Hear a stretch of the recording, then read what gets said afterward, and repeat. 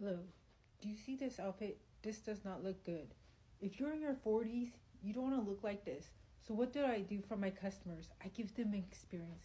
So this dress with this jacket looks cuter than a boxy jean jacket and I tell them cuz women do not want to look like this in from the Zara store and all the clothes do not fit people that are past 40 that are curvy.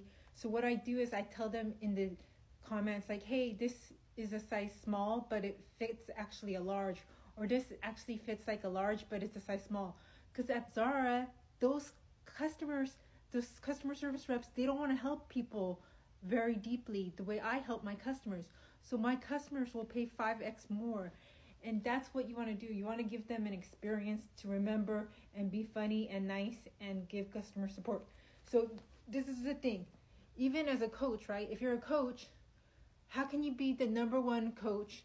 Like for instance, I teach how to sell Amazon, but there's like hundreds of Amazon coaches. But I teach how to sell Zara for 3x ROI. I'm the only one in the whole world that sells that.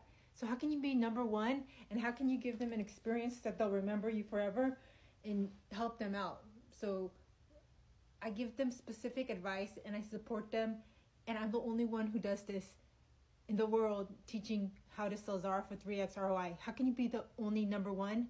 And how can you give them excellent support to make